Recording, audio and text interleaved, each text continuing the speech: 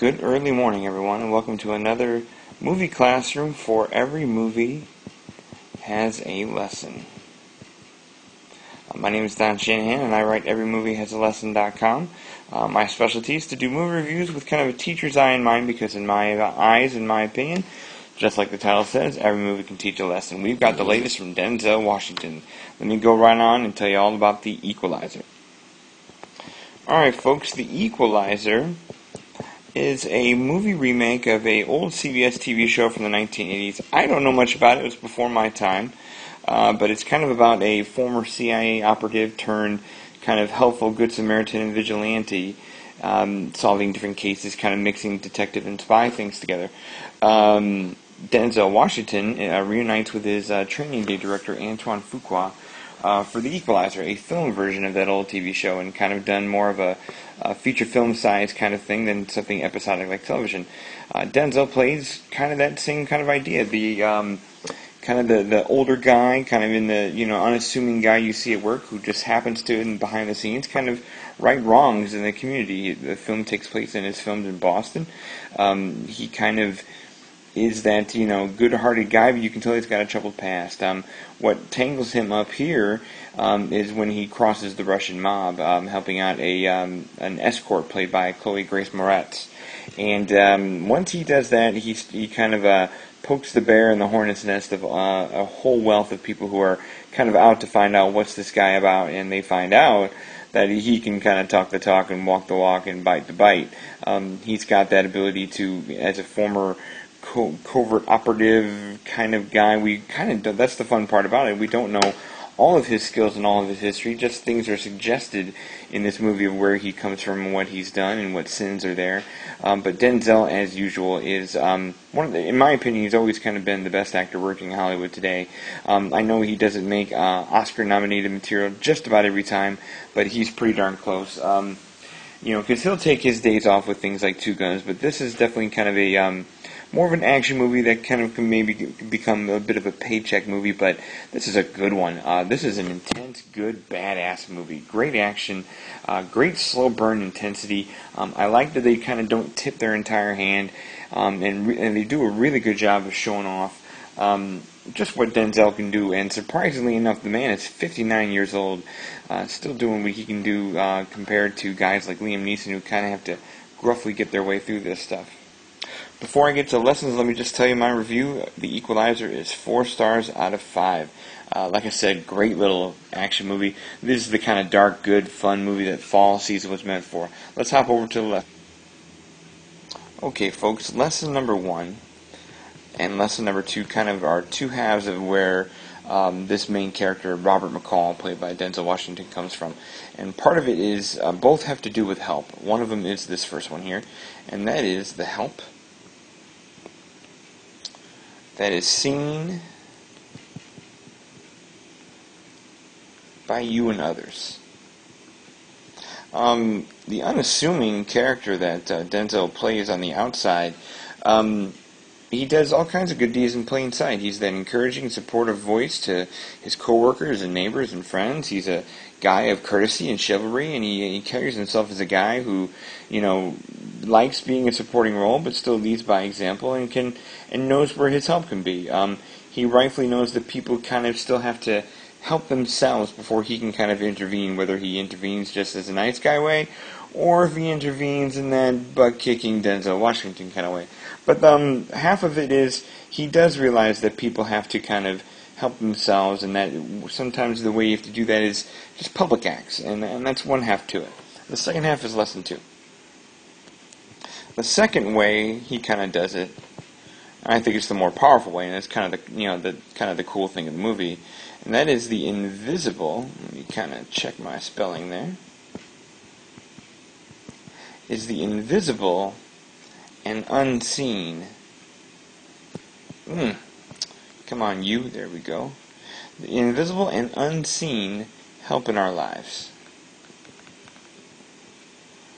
the other half of what makes Robert McCall uh, the guy that he is, and is the extraordinary range between his unseen acts of kindness and his unseen equal acts of vengeance that he does in the name of others. Now he does the nice guy versions and he does the not so nice guy versions.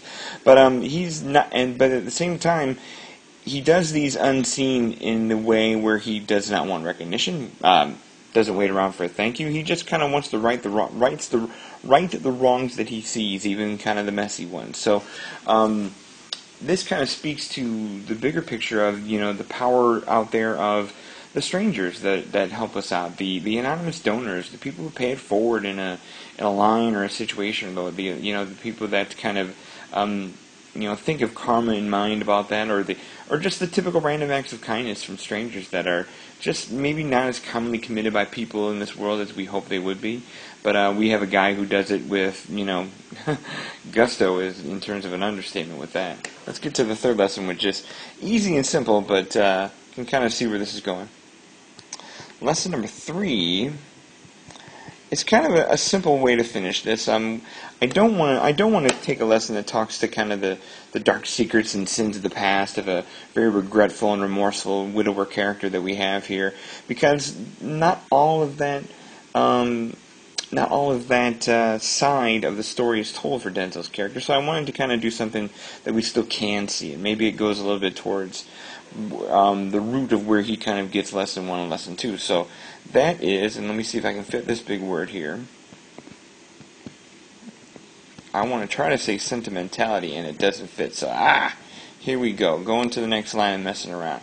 Stay with me, folks. Sentimentality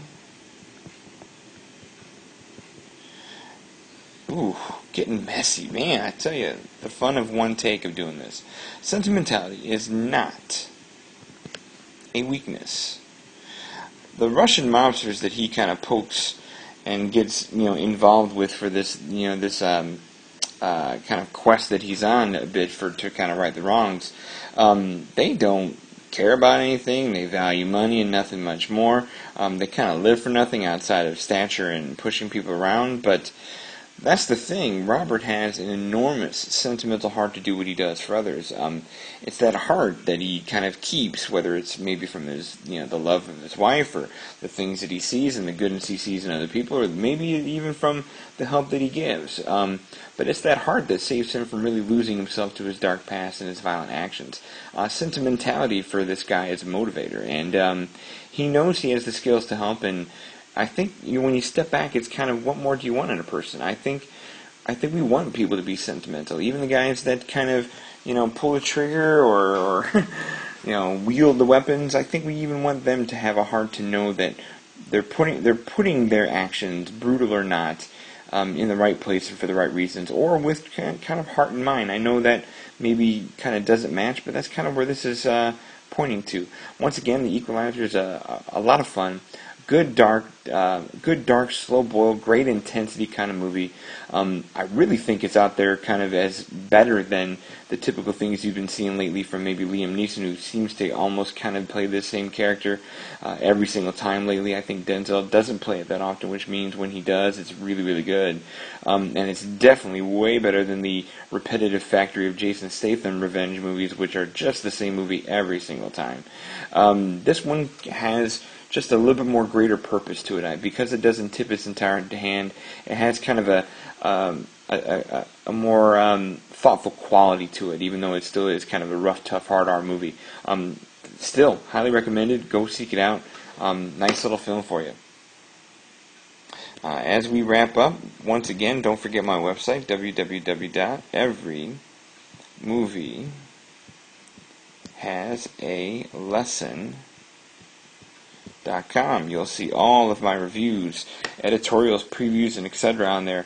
I'm very excited to announce I uh, have earned press credentials at the gold level for the upcoming Chicago International Film Festival. It's, it's its 50th year. I hope to bring you guys um, some uh, great content from that in the month of October. I know we're also getting more and more into the fall here, and those Oscar contenders are starting to show up, and even some of them come early at the festival.